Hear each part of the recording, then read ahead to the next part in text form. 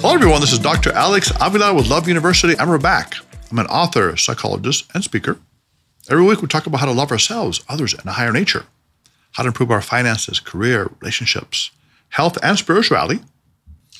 And we've been talking about my book, Guy Types Four Ways to Find the Love of Your Life.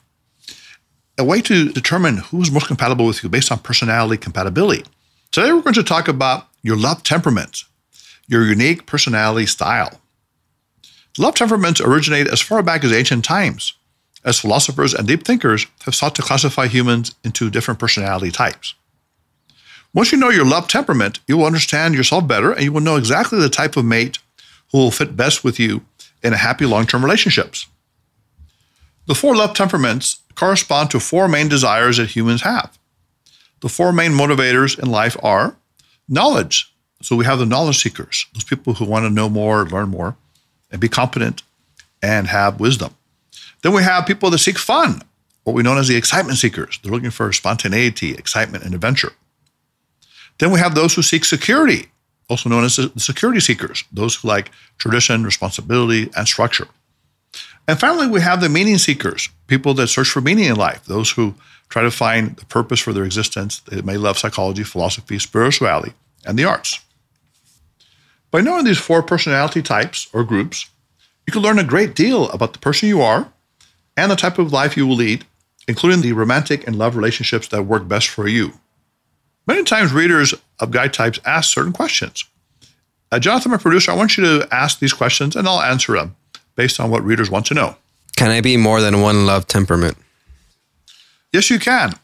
You may have a secondary love temperament, one that is not as strong as your primary one, but that still has influence over your life. For example, your primary love temperament may be excitement seeker.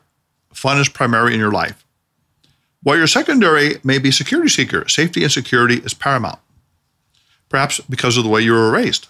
In the Type system, we're going to focus on your main love temperament, the psychological style that you use most of the time.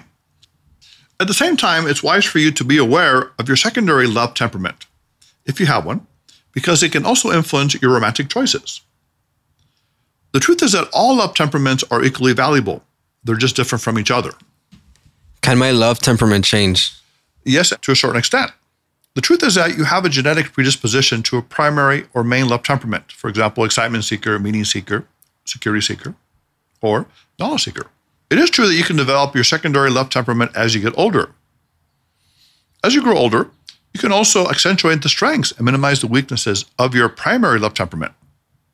Research shows that genetic patterns influence which reinforcers or rewards you will devote your life to seeking, whether it's fun, meaning, security, or knowledge.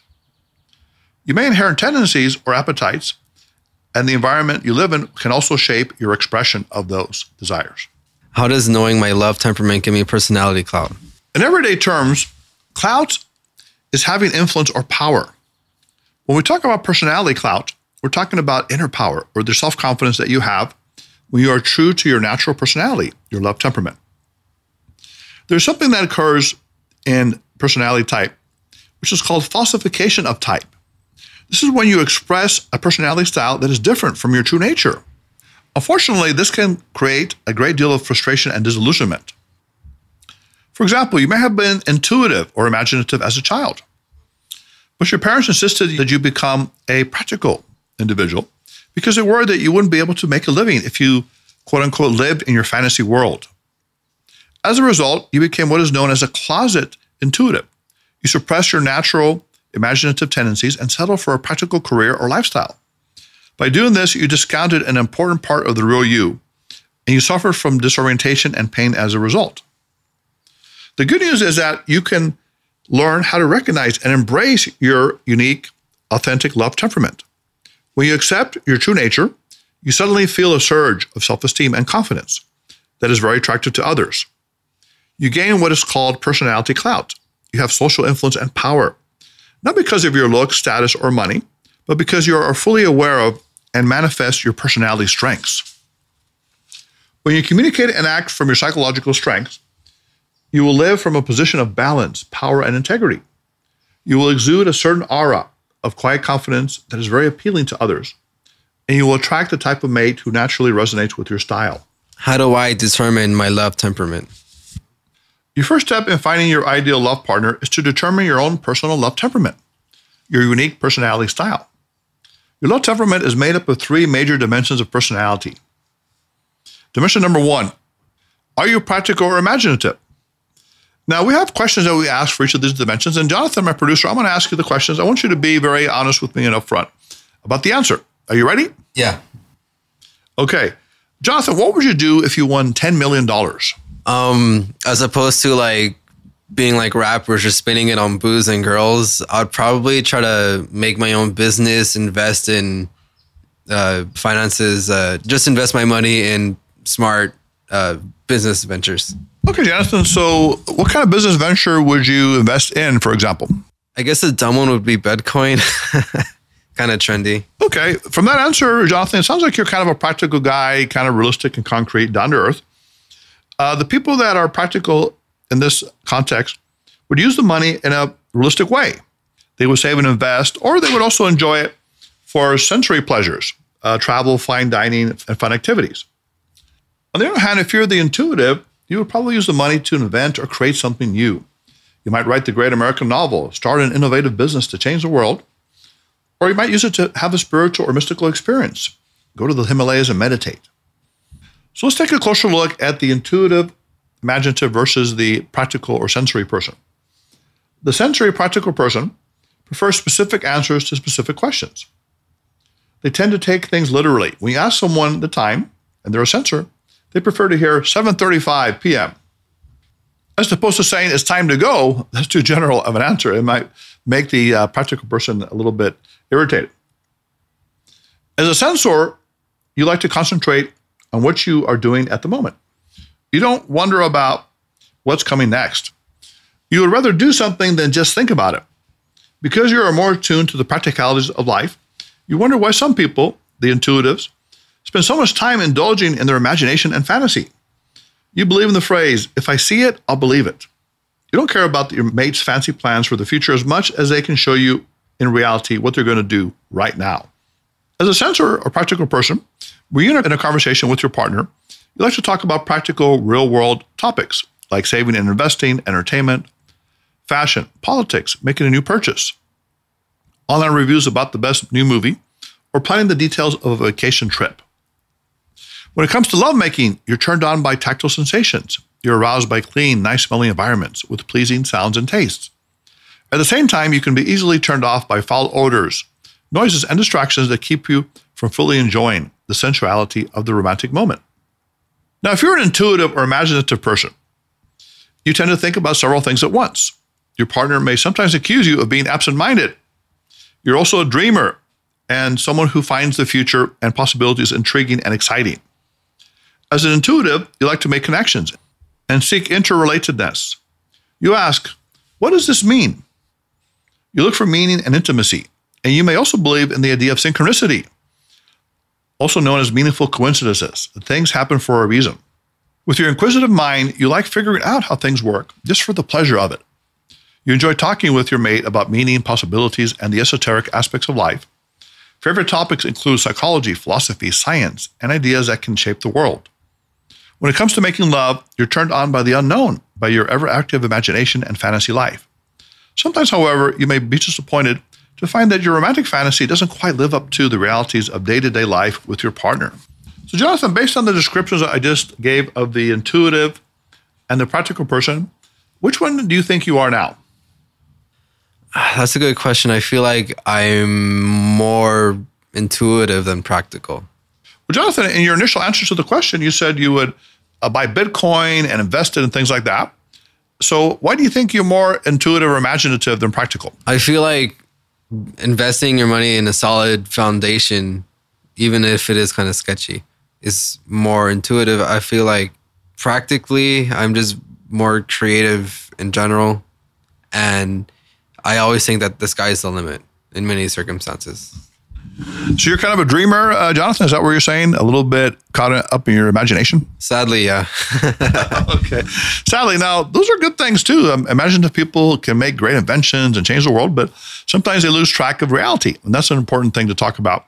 So, Jonathan, when you have reservations, like you just told me about your type, it brings up something that a lot of people have, and that's the inability to be authentic uh, and to really embrace who they really are. They think that what they have is not the best uh, personality style. For example, the male feeler, or if you're too intuitive, people think you're too pie in the sky. Or if you're too practical, they think you're a stick in the mud.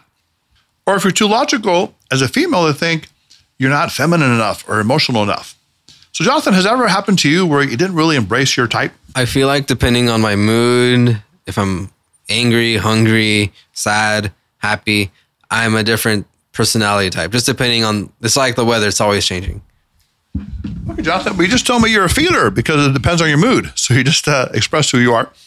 And again, the key is Love your University students is to embrace your real nature, whatever it might be, your authenticity, and then you will naturally attract the soulmate for you. Question number two, uh, dimension number two, it has to do with whether you're a thinker or a feeler. So, Jonathan, I'm going to ask you this question What's your favorite movie and why do you like it?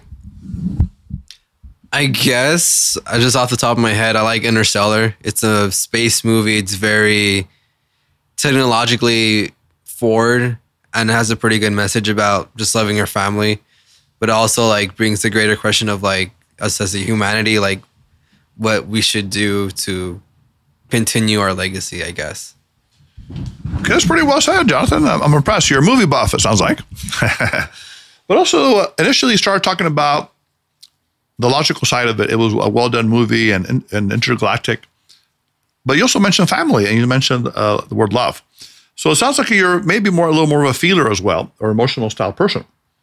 The key to this question in determining if you're a thinker or a feeler, by the way, thinker means that you make decisions primarily based on your logic and analysis and what you believe is right and true. And the feeler makes decisions based on their emotions and their values and how things will impact a relationship. The key here is not just the movie itself, but why you liked it.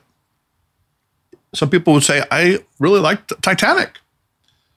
Now, if you liked it because of the relationship, the love story, the, even the tragedy part of it, and the way it made you feel, you're a feeler. You may likely make decisions based on your emotions, as we discussed, and relationships. But if you liked Titanic because of the story, the plot, the special effects, how it was made, it made you think, then you're likely the thinker. You tend to make decisions based on your logic and analysis. Although Titanic may be perceived as a romantic movie for feelers, thinkers may like it for entirely different reasons that are logical. So when we analyze a movie question, the key is to look into the precise reasons, logical or emotional, why you like the movie. So if you're a thinker personality, you communicate to get things done, to improve things. You have a language of action and results.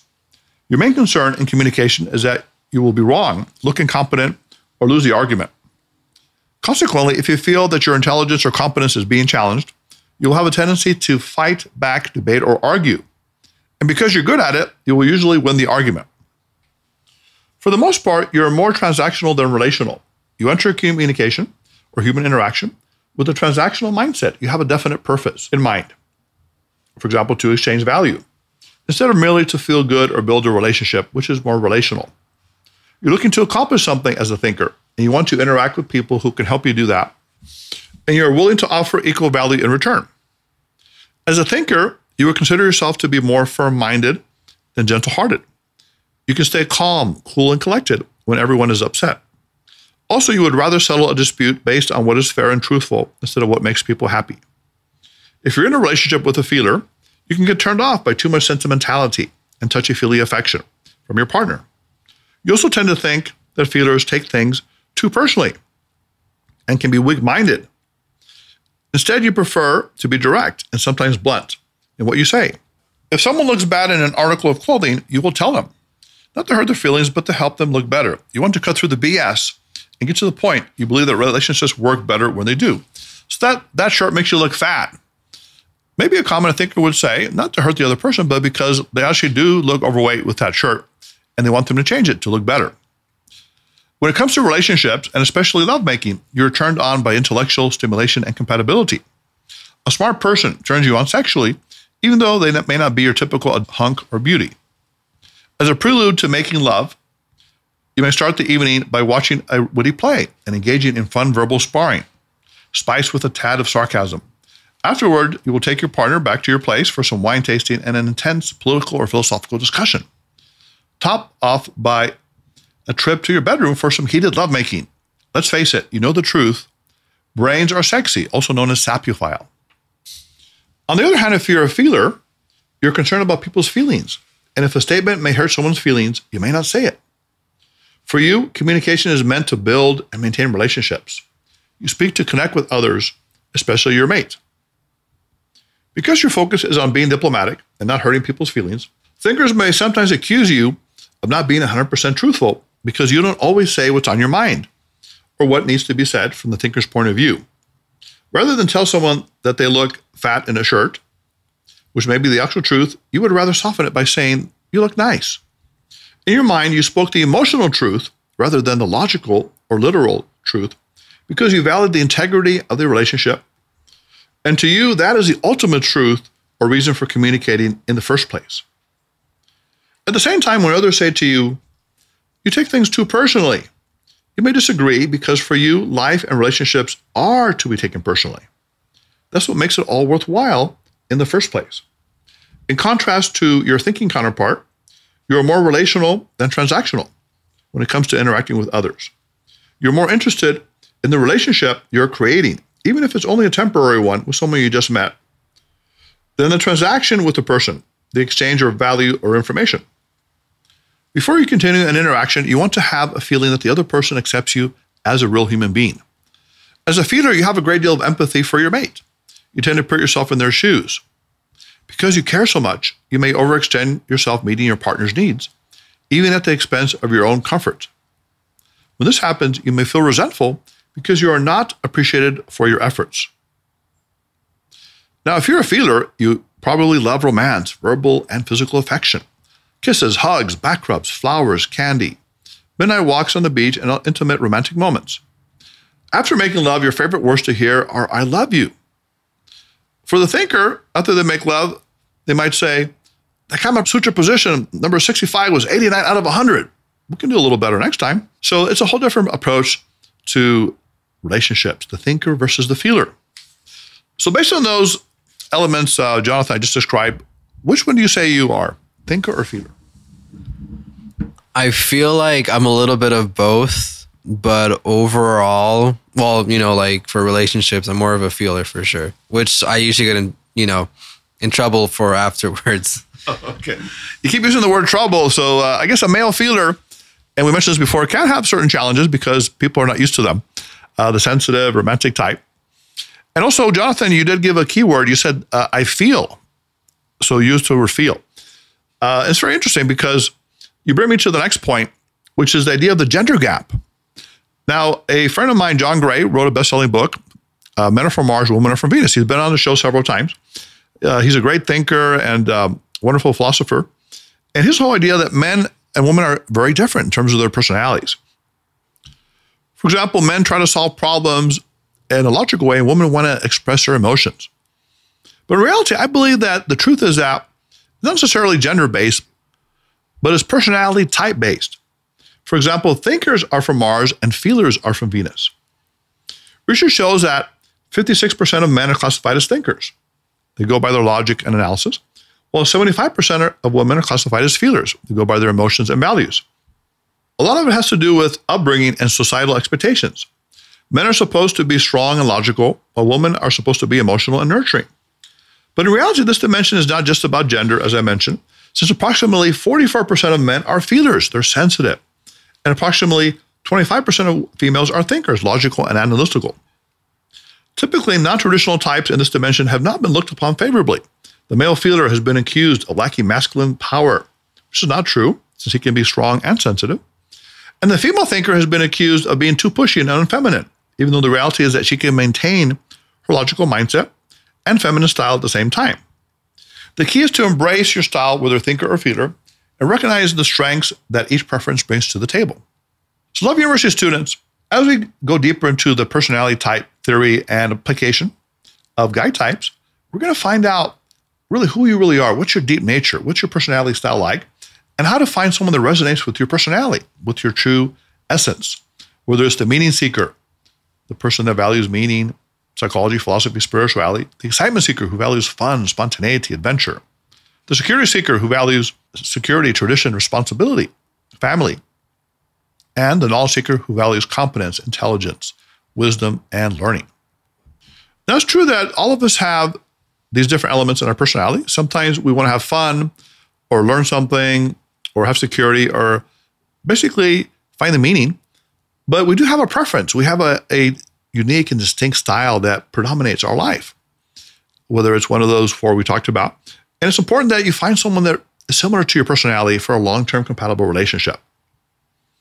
So, as we learn more about this, we're going to talk about all the unique characteristics of the guy types and how to find that ideal partner. So, Love University students, if you want to be on the show, if you have a show question, if you want to participate in any way, you can visit us at loveuniversity.love. Call us at 310 226 8090. You can like and follow us on Instagram and Facebook at Love University Podcast. You can follow us on Twitter at Love You Podcast. Also, you can pick up a copy of the book, Guy Types Four Ways to Find the Love of Your Life, on Amazon.com. You can also subscribe to us on Podbean, Spotify, SoundCloud, and iTunes. So until next time, Love University students, go out there this week and start to ask some of these questions that we're talking about, what I call the magic questions, to identify people's personality types. Are they a thinker? Are they a feeler? Are they practical or imaginative? And next week, we're going to talk about the other two dimensions of personality, which has to do with structure, spontaneity, and also what we call introversion, extroversion, the internal or external person.